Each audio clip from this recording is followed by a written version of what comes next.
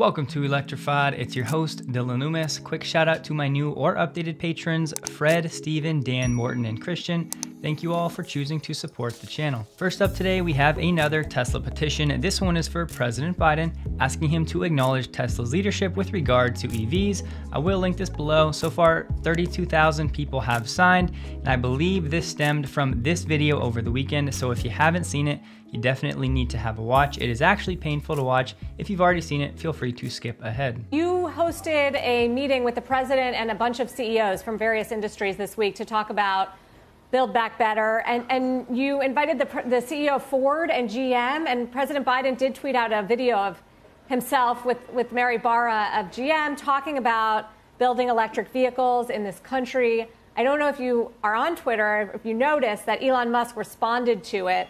He said starts with a T, ends with a A, ESL in the middle, and then and then went on, you know, to respond to a few other people in, in maybe a little more insulting way around the president. Why, why do you not invite Musk to these meetings, this one and, and others that you've had specifically on electric vehicles when they are on the front lines of producing electric vehicles and the biggest player in this country? Well, I would say this was a great meeting. We had CEOs uh, from sectors across the economy, uh, not just the automotive sector, uh, but the, the technology sector, uh, the uh, industrial sector, the healthcare sector, all across. And what was really interesting about the perspectives that the CEOs were bringing were that all of them were underscoring that things like investing in childcare or in education and early education are core economic issues right now, given our need to get people back into the workforce, our need to help more people who have caregiving responsibilities actually uh, work. And so that these issues are really core economic issues, even though sometimes they're labeled as social spending. Look, when it comes to electric vehicles, we want the United States to be the place where the electric vehicle uh, revolution is driven and where we gain more of the global export share and we're creating more good jobs here in America. So that's not about any one individual uh, company. That's about, from the policy side, laying the foundation so that here in the United States, companies feel confident to invest, expand, and build, not only assemble those vehicles, but build the batteries and the other components that go in in a way that creates good jobs for communities. Yeah. So we, we, we, we, are no, looking that, at this. That's what he's doing. Anyone, well, we're looking at any, anyone who's investing and helping move the United States and position the United States uh, to be a leader in the electric vehicle revolution, somebody that we're working with. We obviously have a, a, variety of different ways of engaging with companies and CEOs, but from our perspective, we want the United States to be the place where electric vehicles and those their components are built and uh, to the ultimate end benefit of the workers and the families and the jobs and the economic opportunity that'll create.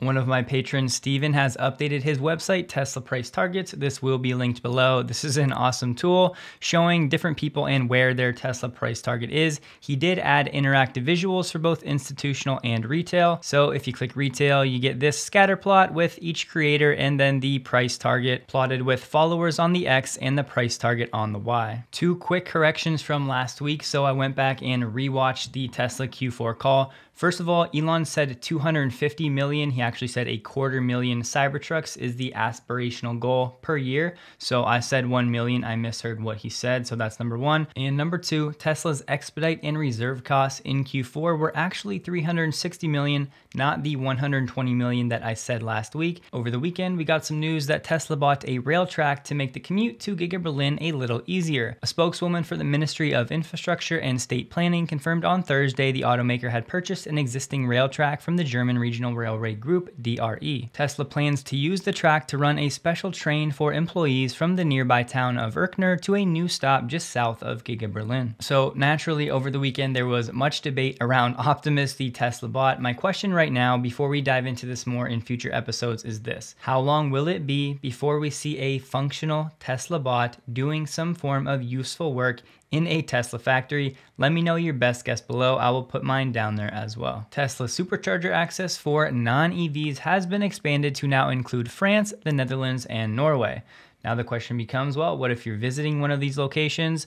The pilot is currently limited to EV drivers who live in the following countries, those same three in addition to Germany and Belgium. Currently, Tesla is reviewing the experience, monitoring congestion, and they'll assess the feedback before they expand further. And a reminder for a Tesla owner, what are your specific benefits? Well, seamless integration of the charge post in the vehicle, optimized route planning, battery preconditioning, and the lowest supercharger pricing. Not to mention, if you're a Tesla shareholder over the long term, this will have a strong impact on Tesla's earnings per share in the years to come. If you're in the US and worried about this coming to the States, just remember that only supercharger stations or stalls with a CCS2 adapter will be usable by non Tesla EVs, at least for the foreseeable future, so you shouldn't worry too much just yet. The new version of the iOS app, and I believe this is also on Android now, is including charging stats for the past 31 days. It'll show you the total kilowatt hours charged, the total spent, It'll give you a breakdown of how much was at home versus at a supercharger and other, and then it'll show you an estimated gas savings as well. Previously, we had the JD Power Dependability Survey ranking Tesla not so well. However, over the weekend, we got the Experience Ownership Survey, where about 8,000 owners were surveyed, and the Tesla trifecta has dominated the ratings not much of a surprise. Model 3 topped the premium BEV list with a score of 777 out of 1,000.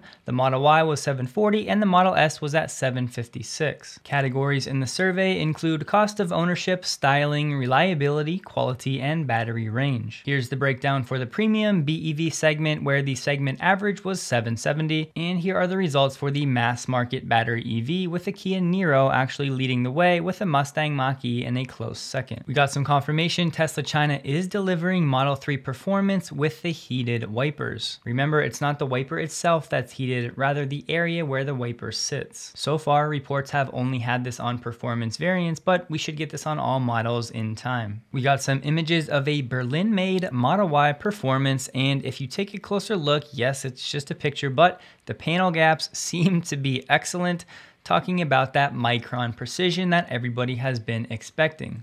Of course, this is just one test vehicle, however, it is still good to see, and confirmation of the 11th letter being a B, meaning it's Berlin made. Deleet Design is back at it again with another prototype user interface design for Tesla. So in my last prototype, we looked at putting settings shortcuts in this bottom bar to make them easier to access while the vehicle is in motion. But that made me realize we actually don't need to look at the screen at all. What if you could take five fingers and reach over and just push up? And maybe increase the fan speed. Maybe you want to turn off the fan. So with your eyes still on the road, you could take five fingers, reach over and just pull down and turn the fans off. Maybe you want to change what these shortcuts do. So when the vehicle is parked, you could come in and configure these shortcuts. So maybe you, uh, by default, it's uh, increase fan speed or set fan speed to zero. Maybe you want to change those up. Maybe you want to assign left and right swipe gestures. Maybe you want to assign different gestures uh, to four finger swipes and to three finger swipes. And the beautiful thing is that while this requires no attention from a driver while their eyes are on the road, uh, this can also be triggered from any point. So maybe you're watching your favorite show in theater mode and you need to open the glove box. You don't need to exit out. You can just assign a three finger gesture and swipe down, open the glove box from wherever you are. So is this something you think you'd like to see? These renderings were shared, so to be clear, this is not official. However, there's a chance that the solar panels on the roof of Giga Austin will actually spell out Tesla, and this is potentially what it would look like. So where is this speculation coming from? Well, from this image from a recent drone flyover, as you can vaguely see something potentially being spelled out. So we'll wait to see how things develop, but if this is close to the final version, that would be pretty awesome. One question I see kind of a lot is, what is the actual battery capacity of each factory? So let's start with Kato Road with a nameplate capacity of 10 gigawatt hours, which is quite a lot. So if you were making 75 kilowatt hour battery pack model Ys, that would be capacity for 133,000 a year. Texas and Berlin are targeting 100 gigawatt hours, which would be 1.3 million models Y, which sounds great. And in Berlin, that would absolutely work, but in Texas, they're making the Cybertruck at 200 kilowatt hours per battery pack. That drops you down to 500,000 capacity. So what if you split them even Steven? Uh, Texas Model Y, 666,000, with the Cybertruck bringing in another 250,000. That's 916,000 units just with the battery supply on site. 916,000 units surely isn't enough, right? Well, don't forget, Giga Nevada still has a capacity of 39 gigawatt hours, which means at 75 kilowatt hour packs, that's a half million cars, which kind of tracks with Fremont's production. Shanghai in December did 70,000 units. That annualizes to 840,000 right there, and they're not even using the American cells, which means just from Shanghai and Nevada, that's 1.3 million. Add another 1.3 in Berlin and another 900,000 in Texas, and you're looking at some big, big numbers just with the capacity we already know about.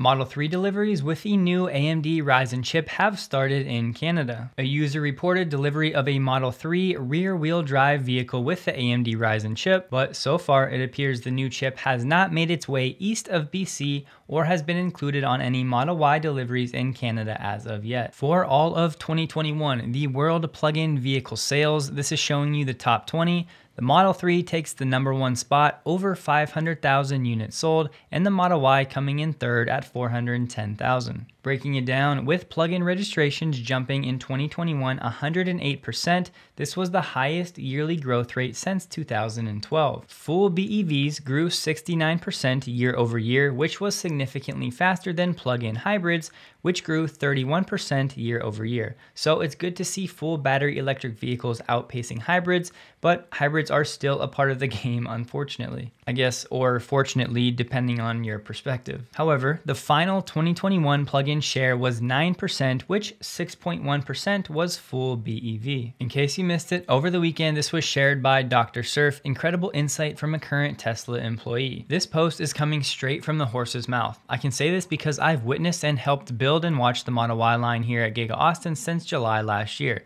You'll have no idea what it takes, how many contractors and how much money and hard work it takes and time to build a line for a car like Tesla.